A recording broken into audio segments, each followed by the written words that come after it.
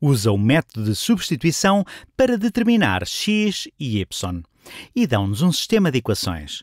y igual a menos 5x mais 8 e 10x mais 2y igual a menos 2. A forma em que se encontram as soluções facilita-nos a vida. Nesta, y está explicitamente determinado. Assim, esta primeira equação diz-nos que y tem de ser igual a menos 5x mais 8. Quando passamos à segunda equação, sempre que vemos um y, dizemos: Bom, a primeira equação diz-nos que y tem de ser igual a menos 5x mais 8. Então, sempre que vemos um y, podemos substituí-lo por menos 5x mais 8. E é isso que a primeira equação nos diz. y é igual a isso. Não quer ser repetitivo, mas quer que interiorizem que é isso que esta equação nos diz. y é isto.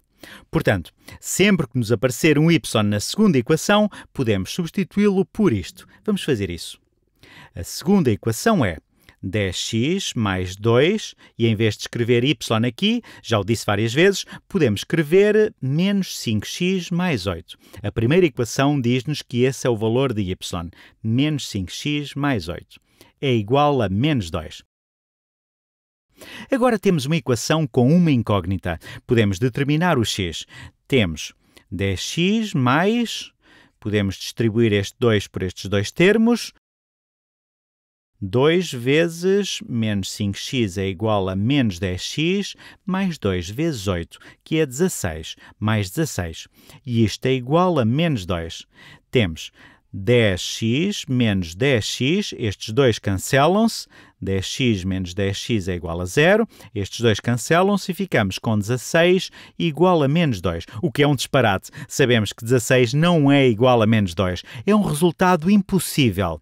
Isto acontece porque estas duas retas não se intersetam. Podemos verificar isso representando graficamente as retas. Quando o resultado nos diz que um número é igual a outro, que sabemos não ser o mesmo, significa que o resultado é impossível. Trata-se de um sistema impossível e as retas não se intersetam. Vou fazer o gráfico para que fique bem claro. A primeira equação já está na forma de equação reduzida da reta.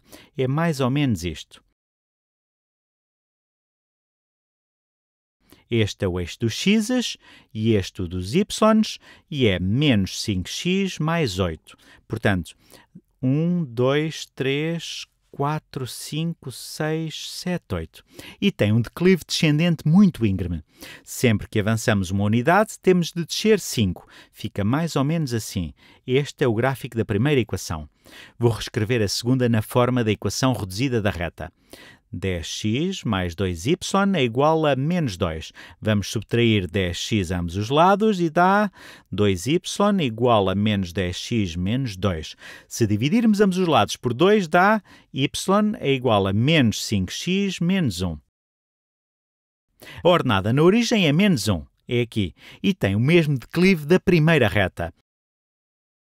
É assim, é paralela, mas com ordenada na origem um pouco mais abaixo. Fica assim. São retas paralelas, têm o mesmo declive e ordenadas na origem diferentes, por isso o resultado é impossível. Impossível. Dá um resultado impossível. As retas não se intersetam.